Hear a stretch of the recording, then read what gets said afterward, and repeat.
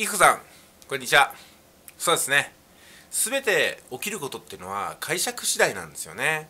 こういう言葉があるんですよ。私大好きなんですけども現象は一つ解釈は無限ってことなんですよ。例えば今雨が降ってるんですけども多くの方はね雨が降ってきたっていうふうにね顔をしかめるんですよ。それを聞いた瞬間およかったじゃんっていうわけですよね。私だけですよそんなこと言うとお雨ややったよかったじゃん。珍しいよね雨。とかになるんですよね。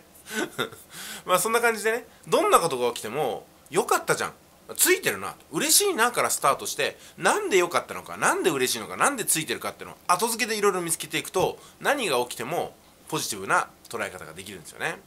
まあ、今回ねあのお寄せいただいてるのは、まああのまあ、一定のね障害をお持ちのお客様お客様じゃないすいません。えっ、ー、とお母様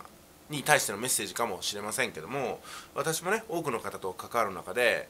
こういうふうに感じたんですよ。まだ割り切れない部分が正直ありますけども、まあ、大和君がね生まれてくる前にやっぱりね、えー、ゆかちゃんとも話し合うことが多かったですよね。うちに、うん、例えばねフグの子が生まれてきたらどうしようかなフグってのはどういうことかっていうと獅子が欠損していたりとかねあの精神的にちょっとこうおかしくなっていたりとか、まあ、いろんなね表現の仕方難しいんですけども、まあ、いわゆるそれを言葉で押し込めるように言うんだったら障害の子供が生まれてきたらどうする？みたいな感じだったんですよね。そこで、ね、私もね何十回となく何百回となく自問自答してきたことをやっぱりお伝えしてきました。できれば親の理想の子供が生まれてきてほしい。でもねそういうことは思い通りにならないと。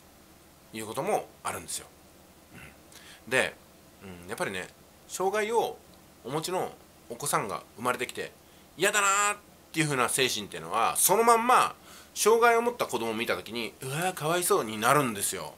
らその思考はねちょっと NG だなないなと思いましたね。でここで出てくるんですよ。現象は一つでも解釈は無限にできるんですよ。あこの子が生まれてきてよかったなと思えるところを親が探してあげなかったら世間の誰が探してあげるんですかってことですよね。だから私はこういうふうに考えてます。起きたこと全てを受け入れてその自分の手元にあるカードをねどのように解釈していくかどのように使っていくかが全てだなと思うんですよ。で私はねもう47歳になってしまいました、まあ、年を取りました。子供が生まれました。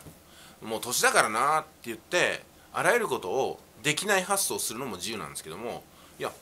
俺ねもう最高の60歳。むっちゃ日本で一番元気な60歳になって自分の子供が中学生卒業して高校の時にね取っ組み合いの喧嘩するぐらいの体力をつけつけてやるぜみたいな感じで今過ごしてるんですよ。ね。そのぐらいのやっぱね気概と言いますかね。うん、解釈といいますかエネルギーを発信してもいいんじゃないかなと思いながら。なんか話がまとまらなくなってきましたけどもまああの無理やりまとめるとするとね育子さんの考え方その通りそれ素晴らしいんですよ。そういうふうなね思考が育ったのもきっとこうちゃんのプレゼントなんではないかなというふうにまとめさせていただいて 今回の動画を終わろうと思います、まあ、とにかくね何が起きても私たちはどう捉えるかどう解釈するかその解釈をどういうふうにね使っていくか発信していくかによって人生が作られているのかなと思います。どんなに頑張ってもね100年経ったらみんないなくなってます。この短い間にどういうふうにね感じてどのように愛してねどのように、まあ、生きていくのか、うん、それが神様からね与えられた、うん、期末テストになるんじゃないかなと思いますけどね。どうでしょうかね。それでは本日は以上ですね。また動画の方でお会いしましょう。